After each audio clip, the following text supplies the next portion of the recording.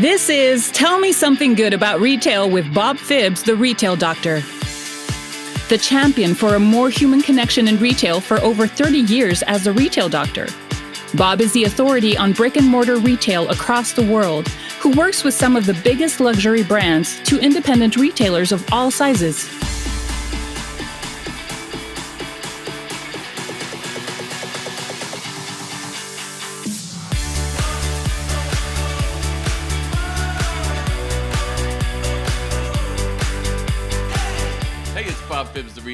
Thanks for joining me today for the podcast. Today, I am talking to Nolan Wheeler. He is CEO and founder at SYNQ Technology, and he's talking today about how to replace old analog infrastructure with what today's consumer expects and how to bring retail into the new age. And if you're watching the video of this, you have a special treat because I have him live uh, going into a store today. Welcome, Nolan.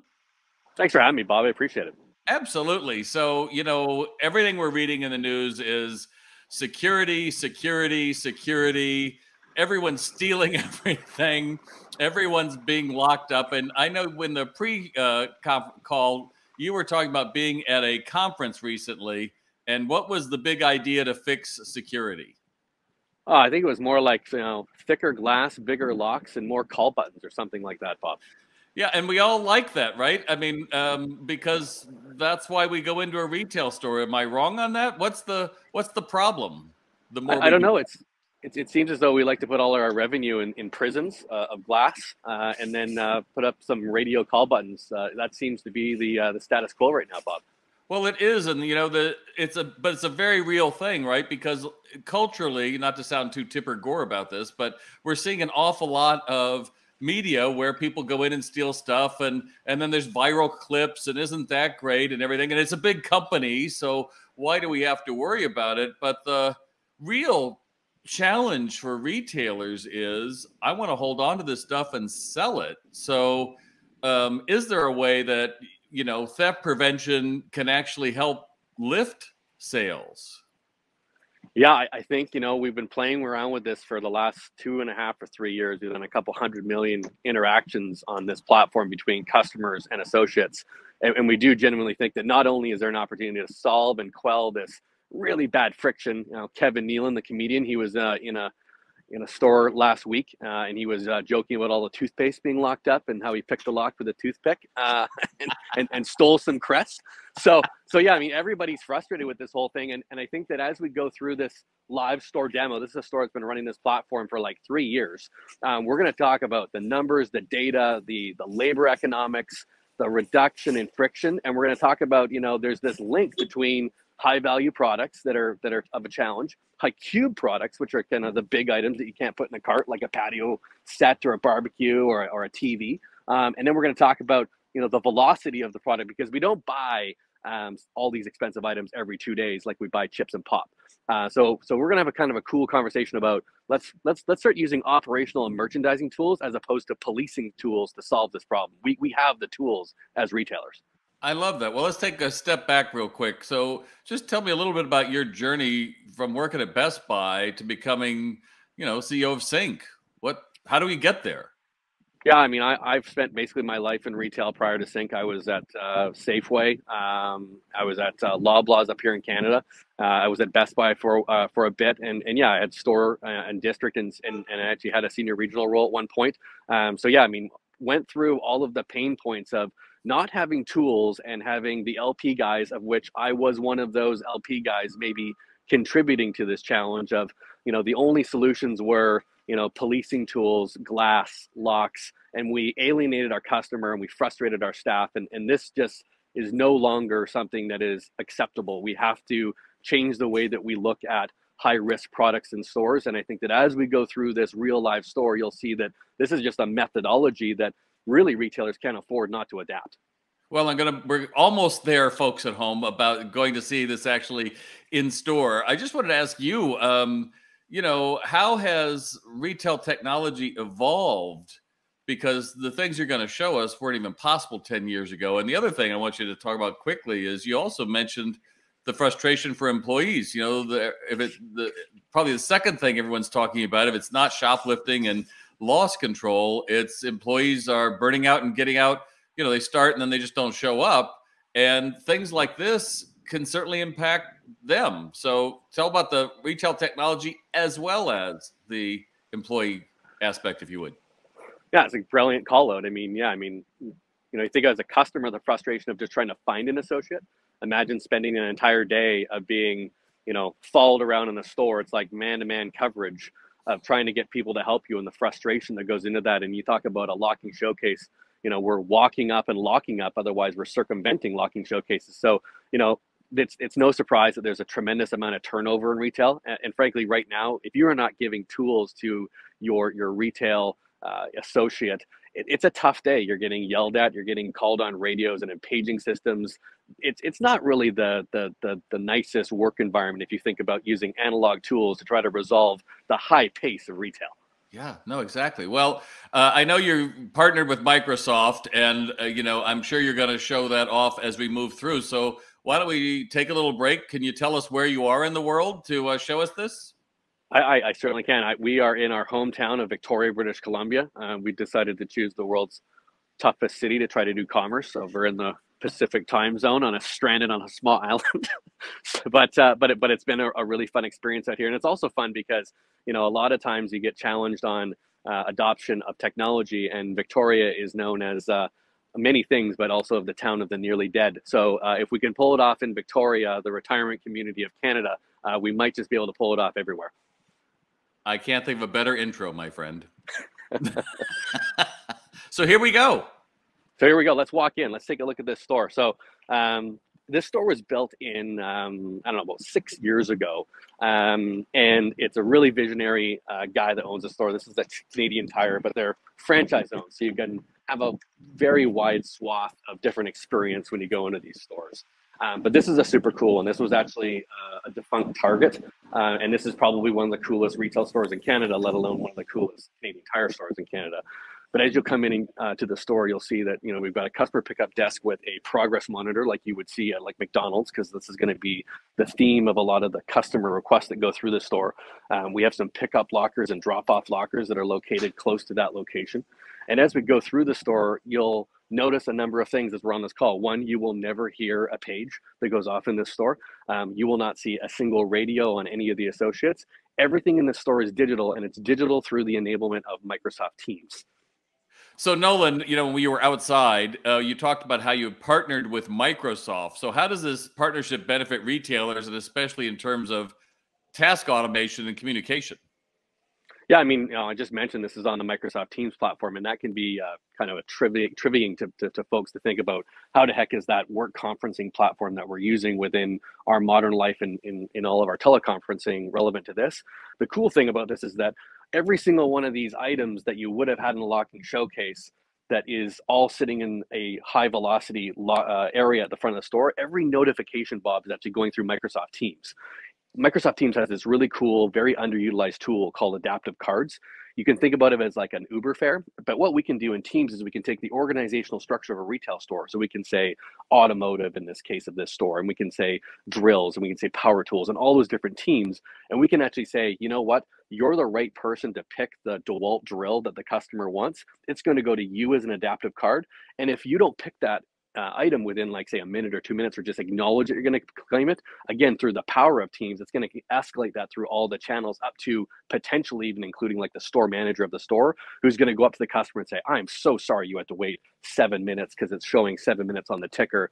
I just wanted to come down and do this pick myself because it was just so unfair to you to wait seven minutes for your drill. So we're using microsoft teams and adaptive cards for every single one of the work functions of what would have been an analog task with radios and headsets so Nolan, let's go back because as you walked in there, there was we that, that big uh, triangle on the floor, and what was that red triangle saying?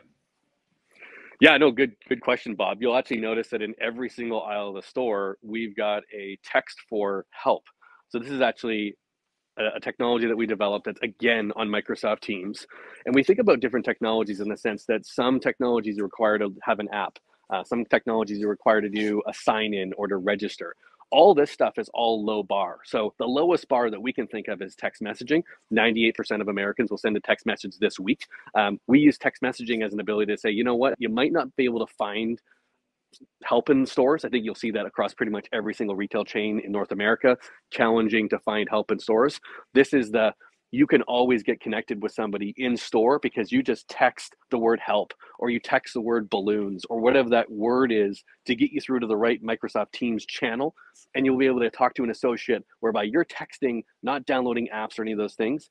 And what you end up having is the associate is sitting in t- inside Teams, super secure, anonymizing the, the, the phone number. It, it's a wicked solution and it's super low bar for adoption. Well, let's go back. So, uh, to some of you may not have, he goes through that pretty quickly because this is his world. But you know, uh, a few years ago at NRF, Amazon made all the news because they were going to have walk, just walk in and just walk out technology. Well, that's fine, but that's an awful lot of technology to make it work, and you have to be part of the Amazon structure to be able to use it. Others are talking about, uh, you were referencing having to have an app or something special. What I particularly liked about what SYNQ does is you're not asking me to do interface anything other than what I'm already doing every day, which makes adoption so much higher. That's probably why you've been doing this for three years at that store, right? Yeah, I mean, it all comes down to technology is great, but if people don't use it, it doesn't matter how cool it is. So it's all about being, you know, I'll take a step back. We're resolving physical friction, and I have lots of quirky sayings, but one of those quirky sayings is don't overcome a physical friction by introducing an electronic one. So don't make your customer download an application in order for you to get the same level of help. If they've got the application, great, leverage these tools. We can port those over through the application infrastructure of what the retailer already has. But if someone doesn't have the application, let's not withhold technology and experience from them. So text messaging and web applications, which is just scanning a QR code and opening up a, uh, a web browser to give you the same experience as if you had the app downloaded yourself. Well, and I'm not seeing anything locked down. Did I miss something? Um, sorry, when you say lockdown, you're talking locking showcases, buddy? I don't say locking showcases, my friend.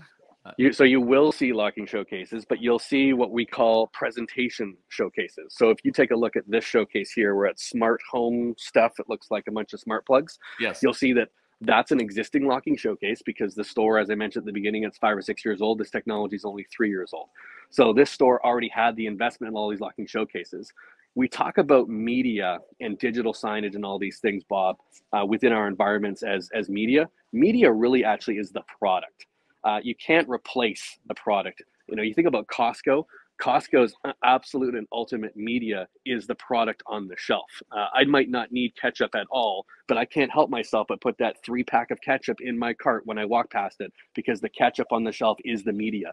We leverage these locking showcases, this massive investment that's been made, and we call them presentation showcases. You'll see every single one of those items is just a single facing and we never have to touch these showcases. The labor savings on presentation and facing is insane all ESLs in this locking showcase, and all these items are just simply there for presentation. I can go up to this tablet and I can learn about it, or I can scan these QR codes, which gives me on my cell phone as a consumer. So this is just, do I have an internet connection? Do I have a web browser?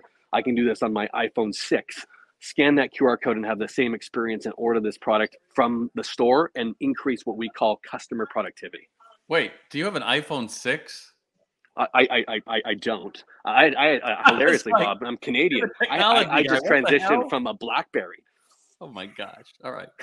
So I, I, do want to uh, circle back on. Um, you talked about it saves labor, and one of the things you've talked a lot about is that every time we touch a product, we are losing margin, right? So restocking things out to the front of the consumer is a downside. Yeah, I mean, eh, this is a, this is one of the biggest parts. A lot of retailers and actually consumer brands they contact us because they've got a loss prevention problem. At the end of the day, when they commit to do this in stores, they do this predominantly because it's a labor savings. Yes, it resolves that loss prevention problem, but it's more so the labor savings. If you look at planogram and you shove a locking showcase in the planogram, planogram goes out the window uh, holding capacity goes out the window. A lock. Wait, wait. Why does it go out the window? You got to explain that for us. It, it, goes out the window because we you can't. I mean, if you look at this locking, let me go. Let's actually just find like an abysmal locking showcase, um, and just as I'm walking over there. Um, I don't know if you're asking this because you're curious or you're asking this to support the content. Um, the context actually would help me as I go through this. Yeah, through the content. Yeah. Yeah, so let me see, let's try to find a dog. Uh, You move fast through a big store. I'm just saying. uh, you know, I work. I worked in retail my whole life. We walk fast. we drink lots of coffee and we walk fast. That's it.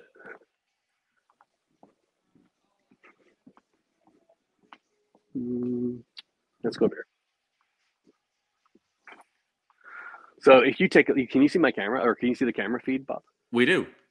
Okay, cool. So if you look at this locking showcase, you don't get the cubic holding Can you power of the can shelf. you describe it for our podcast uh, listeners? What what Yes, kind of absolutely. We we are looking. This category is actually called personal care.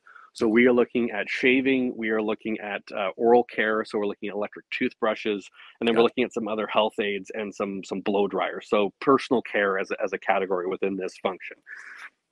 And if you look at what we have here is, if this was just shelving, we would have maybe six times the capacity to actually fulfill our shelf locking showcases just aren't designed for for high cubic um, efficiencies. So when we look at this and we say, okay, we're going to put this locking showcase in, one of two things happen. Either one, we lose lineal presentation because of locking showcases, or two, we want to cover maybe five or six of those things that are high high value, Bob. But we end up having to like clunk some more stuff in there that's not even high value. Like there's an item in here that is whatever, uh, twenty nine ninety nine. You know that item probably just got pulled into this locking showcase because we just didn't have the room to do it. Um, I always like the story of, of Michael Dubin, who founded Dollar Shave Club. He was trying to buy uh, razor blades from a large uh, U.S. Uh, pharmacy pharmacy company uh, retailer, and uh, there was some embarrassing products that were in the locking showcase. So when he hit the call button, he like hid in the aisle over because he was embarrassed that people would have thought he wanted those embarrassing items, even though he wanted Gillette. So that's actually also like a kind of a victim of locking showcases is that you end up being either losing the the, the, the, the cubic capacity or you end up kind of pulling in other categories and they fall victim to the constraints of the locking showcase. Well, and to your point, if we go back and uh, uh, to your conference, getting thicker glass or bigger locks isn't going to help that. In fact, if anything, it's going to become a very big barrier. And that's one of the things I think that you are helping solve is the shift from digital to brick and mortar. When I actually do go out of my house, I don't want to feel like I need the special password to get the young guy or gal with the scrunchy key to unlock the $3 item. But at the same time, even if I go out there, um, I want to be able to get get that which has low value to me um, quickly and easily, so that if I do want to spend extra time looking at that leaf blower or whatever it is, um, I'm not using up my day. So how does could you just walk me through exactly here we are a real we're really there we're really looking for that personal care product let's just say please don't make it something embarrassing for me uh, and we're looking at it and we want to buy that can you explain what the process uh, looks like for us What do you want to just do an order right now, Bob? Uh, let's do it. Okay. Well, we we this is a live store. Uh, they're doing a considerable amount of, of commerce through here. So let's actually, um, we'll go to a quiet really- place you're going to scan that QR code that supports all of the SKUs within this other showcase. This is a live store. We had to get permission to do um, this uh, this this order here and let them know that this is not an actual customer pick and that I'm going to pick it as an associate. Cool. I've got my Microsoft Teams going on my Zebra device that I have borrowed from from the from the store. So I'm going to get off my iPhone and get into the Zebra here. Wait Go ahead does. Microsoft have a partnership with you and does Zebra provide the uh, input device? I just want to make sure we get that clear. So we are partners with Microsoft. We are also partners with Zebra. Uh, we're also partners with Samsung. Samsung's making um, a, a- stance, taking a stance into uh, into frontline worker devices with some of their ruggedized uh, phones.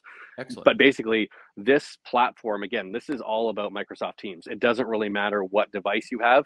You know, the customer, as I mentioned, can be using a BlackBerry. They can be using an iPhone six. Um, there's no barrier there. Um, but for the and for the store, if you have devices that can um, support Microsoft Teams, you're ready to go for your Nice. for, for your for your frontline workers. So Let's yes. Microsoft Microsoft partnership and Microsoft also massive partners with with both Samsung and with Zebra. It's So- because there's an awful lot of people that are not investing in brick and mortar stores, and those who are, I just think it's always good to call them out, my friend. So Here we are. What am I buying, by the way? So that, we we we uh, got permission to do one of these little SD cards because very few people buy SD cards anymore, so we won't lose that sale. So go ahead and request one of those SD cards. So and Daniel's going to put this on screen so that folks okay. watching this can see it. But you've scanned the QR code. You now on your phone have a digital representation of all the items that are in here, but you also have endless aisle. There are 199 electronics items in this uh, locking showcase, although this locking showcase is only holding, I think, 37 items. So this is showing you not only what's on display, but also some of the stuff that's available online. But because this store is fulfilling orders um, uh, for the online in warehouse, we're actually extending that offering to the in-store customers as well. So we're not forcing people to do e-commerce. All right. So you're going to then go through there and you're going to select one of those items. You will see the correct prices and you will very importantly see the correct on hands. So if you find one of those SD cards that has got one or more items available uh, to, to purchase, you're just going to hit that you want to add that to cart. I have not asked you for your name, your phone number. It's very frictionless. And you're just going to say com- commit cart. And when I commit the cart? And you're going to commit the cart.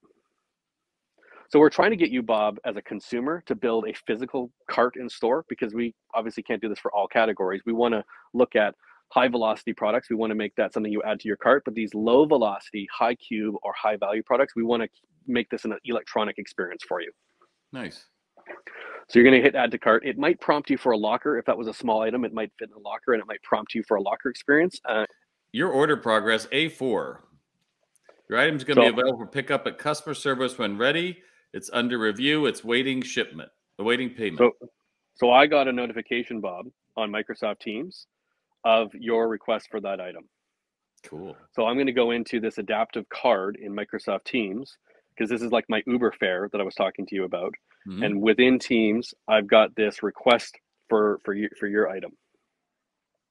And the thing I like about this is it's showing me what's going on in the moment. So as a consumer, you're not sitting there like, did it take it? Do I have to hit this again? Should yeah. I? It's picking my order. It's almost done. So, so I claimed that order in Microsoft Teams. So now, not only, so this was kind of a two for one in terms of uh, experience and efficiency. Not only do you as the customer know that, hey, you know what, someone's actually going to get this for me. So many times you hit a call button and you're like, I don't know if anybody's coming. Do I hit it again? You know, do I walk around and find somebody? Should I stand my post because I'm terrified that someone's going to come and help me and then it's going to be gone? Um, as soon as I hit claim in Teams, not only do you know that, but everybody in the store knows that Nolan at SYNQ, because I'm logged in through Nolan at SYNQ through my identity in Microsoft. Everybody in the store knows that Nolan at SYNQ is picking that order. And so, because so many times you hit a call button or you get a page or something, either nobody does it or three people do it because there's no data, there's no ligature between the efficiencies and the workflow communication. So we're at the strike of a single thumb tap on the screen, updating the customer and updating all the staff.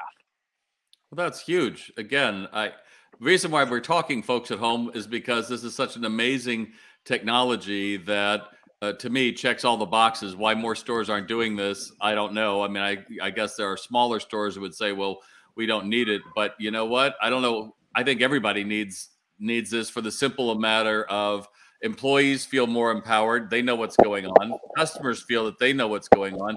And then your managers know what's going on at any moment. So like you started earlier uh, the customer had to wait for seven minutes. You knew it wasn't like hey i know you've been here for a while. I know it was seven minutes. All of that wraps up into a brick and mortar experience that's better than anybody else's. And let's face it isn't that why we're we're going there is to find the people who are making life easier not adding friction like more keys and locks for anything, not just the big stuff, but the small stuff too. So you're waiting in for your cashier now, or you? Yeah. So the cool thing, Bob, is that you'll see on your phone that you've got a progress tracker, and it shows that your order has been picked and it's and it's complete. Yes. And again, we want you to build. We want you to build two carts. We want you to build a physical cart of all that high velocity product that we don't want to put in locking showcases. That we, without risk, we can do so. But what we really also want to do is we want to go through here, and your item is A4. You have the barcode hosted on your screen to yep. pay for the product. So you can go to a regular cash out, or you can go to a man lane. So again, because and the cool thing is that there's no integration required for POS. Because you the, the, POS device doesn't know the difference between scanning a barcode that's on a phone or scanning a barcode that is on um, uh, the box. So you can go up to a POS device, no integration required, you can get that done. You'll see actually at the start at the at the uh, front of the store, it actually shows that your item is now awaiting pickup A4, and you on your phone will show that your item is paid for, and it's just ready for pickup. And that's why it's got its little disclaimer that says "I'm here," so I can click that, and then uh, that opens up the door for me or something. Yes. If it was, yeah, if we wanted to do a locker transaction, we go through a locker and you could open it up. Again, no application required, no paper, no wow. PIN code, four digits. This is again getting back to the whole. If we're going to resolve physical friction, let's not introduce electronic friction. That's amazing. Anything else you want to tell me while you're in the store before we go outside and ask you a few more things?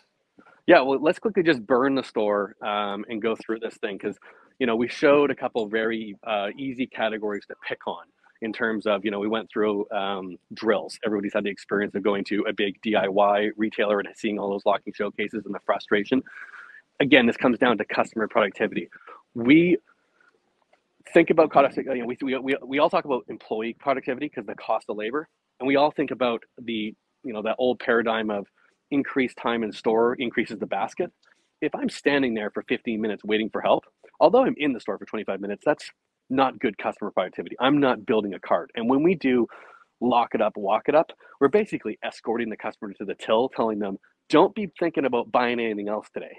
You're, you're checking out right now. So this again allows you to shop at your pace and your leisure and increase that customer productivity. We are in a change of season right now here, but this is your patio area. There's no box stock on the floor. This is all pat this all these items are all available to be requested. So we go to this barbecue over here. If you want this barbecue, you can scan that QR code for gas. You can scan the other QR code for propane. It's going to allow you to get in there. It's going to say, hey, this is a big bulky item. Do you want it delivered? Add delivery. Hey, this item comes in 72 pieces. Do you want it assembled for you? Add assembly, $49.99 you can go through all these pieces and do this and we get to be a merchant again and merchandise. We get to show people hey this is what this cool barbecue looks like not here's a box sitting on the floor. And you talked about labor earlier and the cost of labor. When we take product off of a truck and put it into a locking showcase and we have to look at what is called floor floor fill absorption which is how many times does that box of 12 fit into the locking showcase. So generally speaking you're talking about low velocity items they only generally have a single facing. Those box of 12, you're going to take that box at the floor. Six are going to go to the floor. You're going to be a, do a replenishment in a couple months. You're going to put three more on the floor. Three more months later, you're going to do replenishment as well, and you're going to put that on there. You're touching the product four more times when you do that. And that's just a massive cost of labor in the sense of you can just take the entire box of that high risk product and put it into a a warehouse picking location that's not only going to facilitate your in-store pick, but also is going to facilitate your online pick in a much more uh, efficient way. The other component of this is that instead of responding to a call box, being interrupted from productivity, going and helping a customer, doing lock it up, walk it up, and then going back to that original task and getting to the same level of productivity, that on average takes 12 minutes of time in retail to get back to the same level of productivity. When you're getting an electronic request for buy, you don't have to go and find the customer, understand what they want, escort them to the till, go back to your original task. This is now three minutes and 50 seconds. It's kind of what we found to be the sweet spot in terms of the average picking time. So you've got a reduction of labor on the sales floor by two thirds, and you touch the product four less times per transaction when it comes to high cube and it comes to high risk products. That's pretty amazing. So data privacy is a big concern through all of this, right? So how do you guys ensure the secure handling of all this data? I'm I'm scanning and I'm clicking. I mean, are there are there things that that you you have to build into that so that customers feel secure? Yeah, I mean, you know, first and foremost, you talk about the security. First and foremost, you talk. I don't know if you can hear that. First and foremost, first and foremost, you talked about uh, the platform. So everything is on Azure. You know, this is all uh, SSO and identity. This is through Microsoft Teams. And again, core to what we're talking about here, I don't know anything about you. Everything in is anonymized. You're just a serialized order request in store. I don't know who you are. I have no PII about you whatsoever. You're just simply asking for product, and I'm facilitating that request. So, so when it comes to privacy, outside of POS, we're outside of a loyalty program, all of those kind of things. Well, and that's the cool thing about leveraging the smartphone for the for the for the barcode. And we've had lots of different conversations with with retailers, and everybody's got some gotchas up front. But one of the key gotchas on this is that when you're leveraging the smartphone and hosting the QR code on the screen, you're you're maintaining PCI compliance and you're maintaining all of those loyalty and rewards elements that are so important to them because you're not changing the checkout process in store. You're walking up to POS, you're going through self checkout. Your POS is not only, again, maintaining the PCI compliance, but it's prompting you hey, do you have your loyalty and rewards? If you're going through a regular checkout lane, hey, here's a promotion that we're running. Do you want to donate to charity? All those pieces don't get interrupted. So again, operationally, this is very much fitting within the ligatures of what traditional checkout and operational experience looks like. It's just addressing all those low velocity, high cube, high value items. I love it. Well, before we continue, we love our loyal listeners, so please do me a favor and give us a five star rating. And we're going to return after this quick word from SalesRx online retail sales training program. Hey, it's Bob again. I'm not only your host, but also the founder of the SalesRx online retail sales training program. How many sales that should have been yours walked out your front doors today? You know, with shoppers being more discerning about where and when they shop, you need to convert more lookers to buyers. And SalesRx is the perfect solution to make training memorable. It's bite sized, it can fit easily into your schedules. Don't tell me you don't have time to train. If you can give them time to take a break, you have time for them to train. Now, the training builds from some of the quickest ways to engage shoppers to the most advanced. Everything is planned so you can implement your sales training program with a click of a button. And there's a reason we're on four continents training thousands because SalesRx is scalable. Everybody learns the same new skills that will grow your sales. In fact, 83% of users report a double digit increase in their sales within six months. Wouldn't you like that to be your story? Visit SalesRx to learn more and set up a call with me to see how we can help. That's S A L E S R X dot com. Now back to the broadcast. And We're back with Nolan Wheeler somewhere out in the wilds of British uh, Victoria, British Columbia. He is the uh, CEO at SYNQ Technology. He's been sharing with us what it looks like out in the wild. So what are some of the biggest challenges that we haven't spoken about that um, retailers face that SYNQ is aiming to solve? I mean, we've talked about labor, we've talked about theft. What else is part of this? You know, it, it just comes down to change, uh, Bob. Um, we are in a culture whereby there's a scarcity for change, and it comes down to there is um, a guiding light that is fairly consistent over a 30 year period of time that the way to resolve shrink is to use policing and security tactics. Um, so very con- like our, our only competitor is is a locking showcase. Our competitor is a call button. Um, this really comes down to awareness. Uh, the majority of our uh, lead intake actually comes from senior level leadership, those in the C suite that say, I had no idea this was available. Why the heck aren't we doing this? Um, it really just comes down to a change of thinking as it pertains to uh, operations and merchandising. That's really the biggest challenge, and that's generally the biggest hurdle that we face in terms of getting retailers to say, you know what, let's take that real high risk location and give this a shot. It's a great thought, and you know um, that's a great point too. That so much of retail is in silos, and I didn't think of it. Therefore, it's not good. And you know, yeah, it's great. It'd be great if every CEO heard you and and went ahead and do it. Of course, I'm a big believer in it, just from what I saw from you a couple of uh, months ago. But that reception to change is really hard to push up from the bottom, right? So if somebody saw this and they're like, "Hey, our managers," be like, "Yeah, that sounds too complicated." So well, how do you make somebody secure? I mean, obviously, this platform's been out there for years; it's rock solid. Um, how do you reassure someone that um, this? Well, I think this changes the way you think about your retail operation in general, right? Because if if you're out there doing what you're doing, maybe there are other solutions out there as well. And instead of pulling your hair out, without saying that we're, uh, you know, when I was a kid people showed up on time, or when I was a kid, nobody stole, or we need better laws. Instead of getting caught in all that nonsense, maybe um, there are other things that come up, and people start thinking that, hey, this is how we would value our employees better. Or if we had a magic wand, what are the friction points? And I think that you have solved a lot of them, but I can already hear people won't work for our store, right? Yeah, I mean, it's all those things, but I would say that, you know, for us, the, the inflection point is Microsoft. And, and although we've had this sitting there as a Microsoft platform for a number of years, um, only really in the last 12 months through a tremendous partnership through them. Um, this is now downloadable through Marketplace. This comes downloadable through appsource.microsoft.com.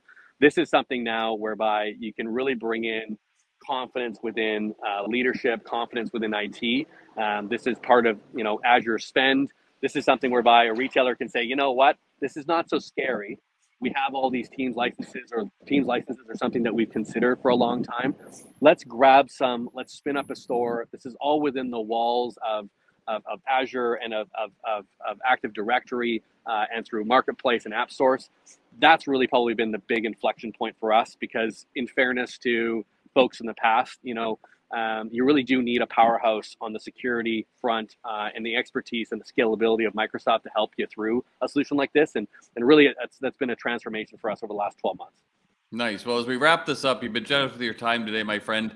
You know, as somebody that's been really deeply entrenched in retail tech, what's one piece of advice you give to retailers looking to adapt uh, in today's market? I guess the a kind of a, uh, an anecdote I would say is that when retail first started, it was the general store and everything was behind the counter. And, and suddenly we started putting more and more things in front of the counter. But we drew a line at some point. We don't put narcotics. Uh, we, are not going to get rid of the uh, the pharmacy counter. I don't think anytime soon, Bob.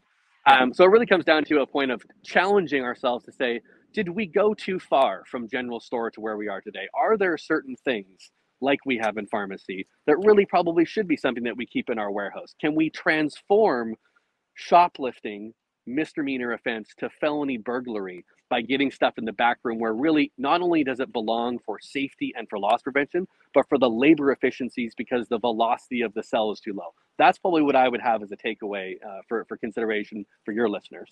Nice. Well, my last question is every longtime listener knows I have to ask. It's the title of the podcast. Tell me something good about retail. Boy, uh, you know what? I I came from retail. I love retail. This is my my retail pride, Ron Thurston um, accidental career in retail. Retail is fun. Retail is experiential. Retail is is is about uh, discovery. And, and for those who think that retail brick and mortar are going away, I, I would uh, strongly advise that they might want to reconsider that thesis. So, you know, the fun part about all this and the exciting part and, and, and, and the motivation for this is retail is still an enjoyable thing to grab your coffee and to walk through a store and to explore and to see new things. And this is a way to support retailers to continue that experiential endeavor. Excellent. And we can feel that from you today. Well, I appreciate you joining us, Nolan. And you've been listening to this. You'll have the links. You can go and check it out. But, you know, I think the one thing that we hear over and over is we can't, we can't, we can't. But then when someone holds this up and says, but maybe we could, you got to be willing to go out and do it. And I hope you do because retail still is responsible for one in four jobs in North America. I'm Bob Phibbs, the retail doc. Thanks so much for joining us today. And thank you, Nolan. Thank you, Bob. You've been listening to Tell Me Something Good About Retail with Bob Phibbs, the retail doctor. As a listener, you can receive free information and guides when you visit retaildoc.com and sign up for our exclusive weekly newsletter. Thanks for being with us. Remember to subscribe on iTunes, Spotify, or wherever you like to get your podcasts. To virtually bring Bob to all of your crew and associates, check out www.salesrx.com.